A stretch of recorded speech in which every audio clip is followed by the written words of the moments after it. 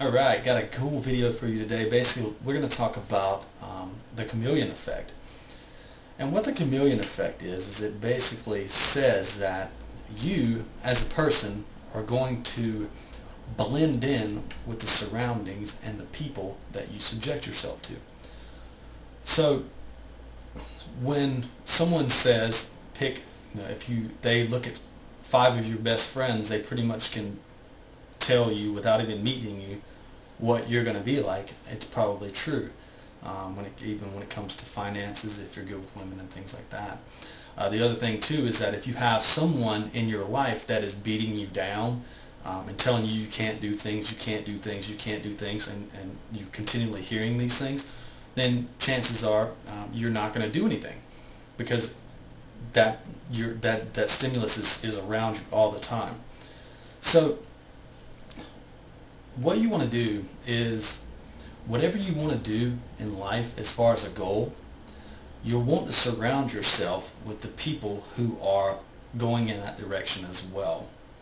Um, that's why a lot of times you see people, and I'm not a member of one or anything like that, and I, but I don't I don't see it as a bad thing. But see you see some of the lairs and stuff like that, where a lot of guys with common interests come together and they work on their game. Um, that's awesome. I mean, I think that's good as, as long as everybody has you know the right mentality and and and and, the, and the right mindsets going through and, and what they're actually trying to accomplish. it can be very powerful. I could see it being very uh, uh, detrimental to growth as well, depending on how it's set up. But that being that's another story. Um, same thing with uh, with wealth. Basically, if, I mean, if you if, if you're entrepreneurial and you want to um, learn how to grow businesses and things like that, but then it just makes sense for you to hang out with other entrepreneurial people. On the flip side, uh, with the chameleon effect is that you want to weed off anybody in your life who's holding you back, basically telling you what you can and can't do, especially if those people have never attempted what you're doing or if they're not successful in it. So, and you're going to see that time and time again. I mean, people won't understand. So let's say if you if, if you start reading stuff and, they, and they're like, why in the world are you reading that? Why would you want to get better with women? You're fine, just be yourself, you know, that type of stuff. But then that same person, they suck with women too. If you see what I mean, I mean, it makes no sense for you. If, if that's the direction you're going, it makes no sense to to, to stick around that person anymore. You have, there's no commonalities there. And there's nothing wrong with, I mean, it sounds so selfish, but you know, there's nothing wrong with upgrading friends. And, and most of the time it happens just naturally. I mean, when your interests change and things like that, you know, it's not, it's not selling out, it's growing. You're not selling out your friends. You're growing. You're becoming a better person. You're getting what you want out of life. And the more you get out of life that what you want, the more you can help other people.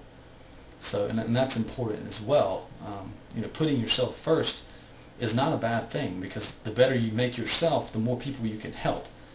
You know, I mean, if, you, if, if you've got people bogging you down, you know, with, with what they're thinking and what they're saying and, and influencing you in those directions, and, and, and this is this is the chameleon effects is studied.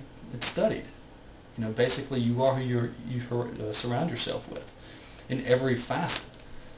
So, basically, get to a position. You know, figure out what you want. It was like I was watching uh, one of his uh, MTV shows or VH1 shows. And it was a 50 Cent thing, and he was. Uh, it was like the first challenge. It was a business thing, but the first challenge was choose your crew wisely. And it's, it's important, you know. It was the very first uh, one. It was the very first lesson he had. But it's it's true. I mean, you choose the people you surround yourself wisely, um, with wisely, because of this chameleon effect. Either way, either way, it can help you or it can hurt you, and it can and totally bog you down. So you've got to get got to get rid of the people that bog you down and, and hang around the people that, that keep you up and actually support what you're trying to do. So and and seek advice at the same time. So there you go, a little bit on chameleon effect.